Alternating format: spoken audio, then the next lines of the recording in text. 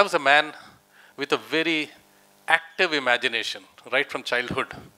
And when uh, we were taught our favorite subjects of maths and physics, it used to get even more active.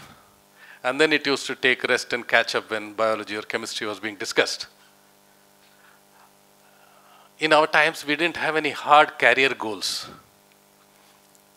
The thumb rule was whichever exam you pass, that's the one. And uh, later in life, in the age of 17, I joined Merchant Navy. And for a 17 year old coming from a small town, everything sweeps you off your feet. It's invariably your first flight, the big expanse of the seas, the big ships, the ports that you go to, and the developed world. It's much later in life that you realize that the people over there in the developed world around there, they are the people who have made it like that. They are not necessarily more intelligent than you and me, but they worked very hard to make their world better. So, the obvious question why can't we? Later, with friends, family, you're sitting having a drink, dinner, and you're solving a lot of world problems. Who should be running the government? Who should be running the world? Who's right? Who's wrong? And you debate all of that, settle all of that, happy, have dinner, go to sleep. And the next day morning, when you open the door, the world is just the same where you left it yesterday. Nothing has changed. Months, years go by. And it's one of those days when I said, Look, let me get up, zip up, and do what I can. Do what I can to make a little difference. I always believed that human intelligence is very equitably distributed around the world, better than oil and mineral. And we have received our fair share. What we do with that is, of course, up to us.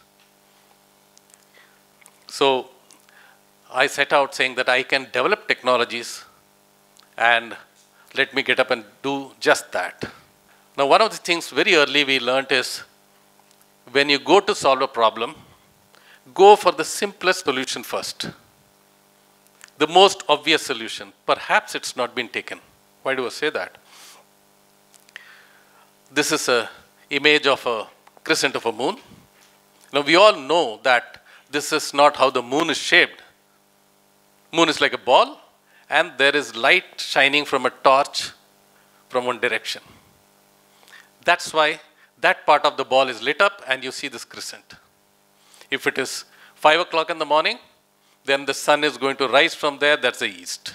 Now, this is not very difficult to understand, but let me tell you about 30 years back, standing on the wings of the ship, I noticed that the crescent of the moon is pointing to the sun at all times.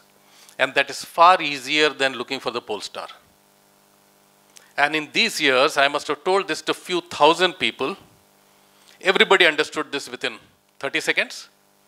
But no one ever told me that they have read in any book. So that reiterates my belief that go for the obvious solution first. Perhaps it's not been taken. Now, we uh, designed technology, a floating barrier that stops all the solid waste and brings it to the side of a river. I always believe that in the flowing waters of a river, never use a drop of fuel. The flowing waters will bring all the solid waste and bring it to the river bank, right up to the river bank where you like to pick it up. So we did this in 2015. Then 2017, we installed this in 10 locations in a river called Kuvam in Chennai.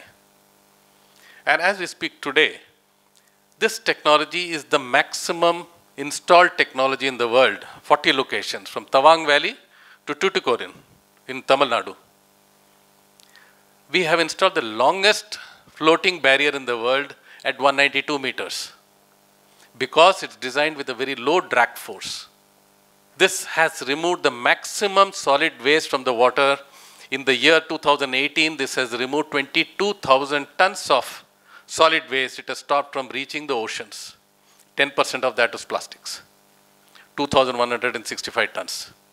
If you zoom in on Google Earth, you can see all these installations. Now, this 22,000 tons it has removed without using a single drop of fuel. Nil carbon footprint. One more small detail this costed only 5% of the international technologies. I'm not saying 5% less, I'm saying only 5% of that. And that's also the reason why you didn't hear about it before because I don't have advertising money for this. This year we plan to step out to the open sea, use renewable energy from the ocean, and start cleaning the oceans.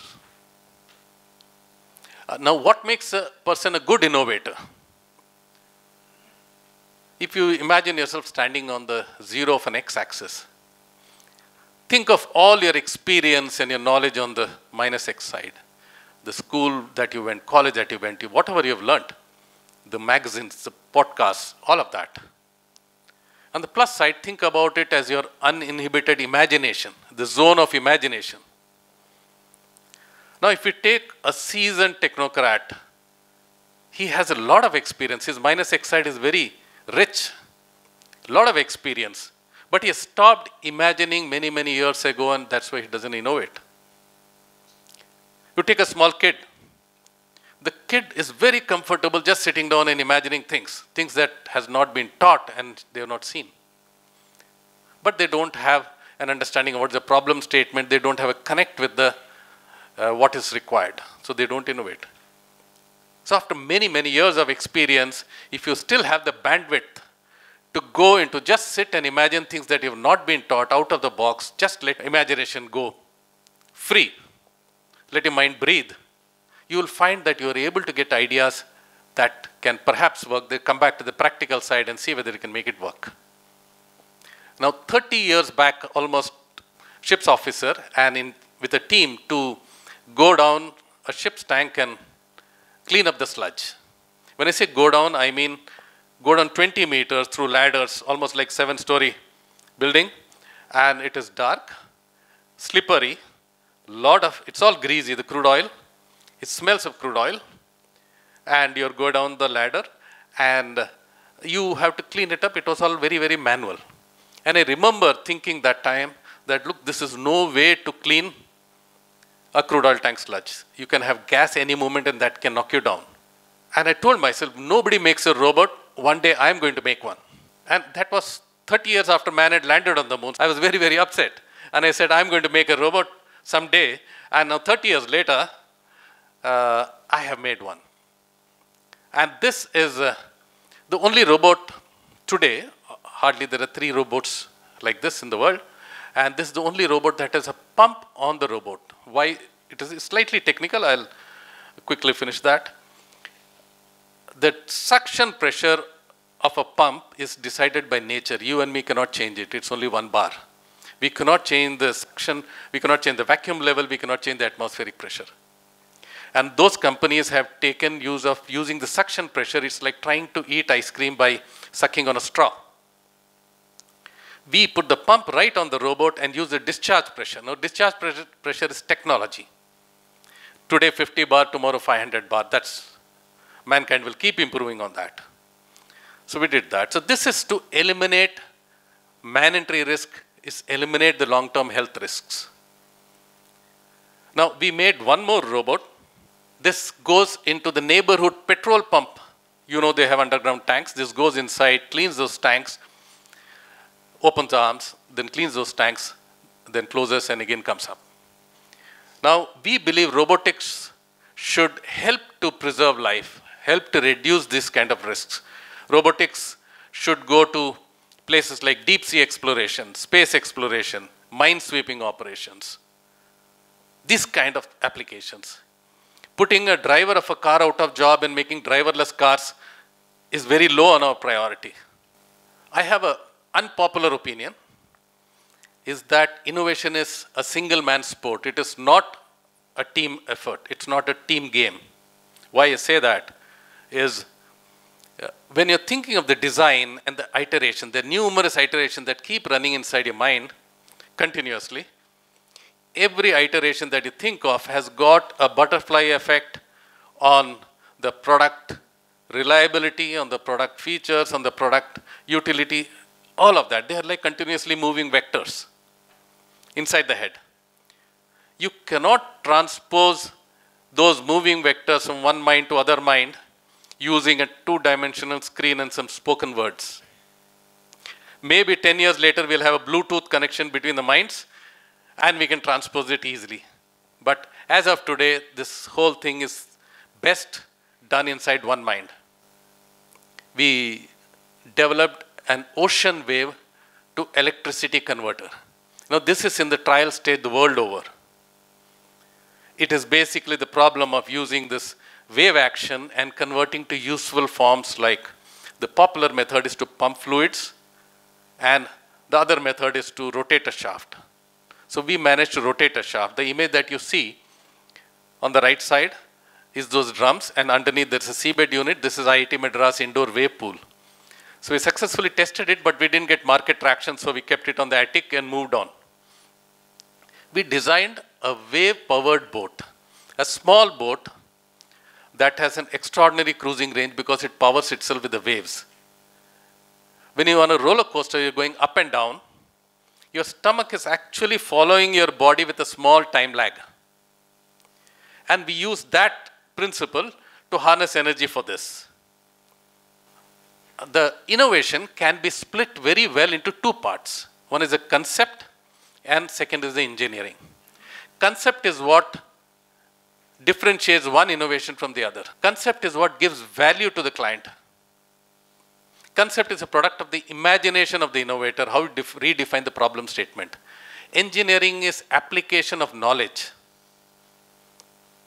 That is how you make the equipment more reliable with good engineering.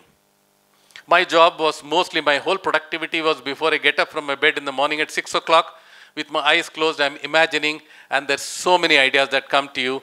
Get up, scribble the design, send it to the team, and they take it from there onwards. They do that. Mind is a fantastic design software, the smartest design software. I believe 90% of the design happens inside the head and only 10% of the shop floor. Don't take shortcut with the 90%. The mind is able to review the design that you plan again and again, and it will tell you where to expect the snags. Rectify that, and then go for the prototyping. It will save you a lot of time and money. The human body and the animal body is some of the best designed machines. Whenever I come to a dark corner in designing, I think of these and it opens up many windows for me. We had to design a robot that had to go over pipelines. And the idea that comes to the mind, the image that comes to the mind automatically is a dog with six legs hopping over it without falling down we had to design a robot that had to go down an industrial column without a straight passage down. The image that comes to my mind is a snake hanging from a tree and turning its face one to the other. We did a small exercise in my office to think how to rescue a baby if it's fallen into an abandoned borewell. You know, we have this problem so many times. The image that comes to the mind is that movie Incredibles, where the woman has got a hand that extends very long and she still has a hand to operate. That's what comes to your mind. Then you come back to the real world and start planning how do you make a robot that does just that. That's how we have been doing all this time. I still want to clean all the rivers that we have. I believe it is possible. I believe you do not have to be Ivy League. I'm as ordinary person as they come. A lot of old-fashioned hard work with a dose of logic and common sense and a lot of perseverance, an ordinary man can move mountains.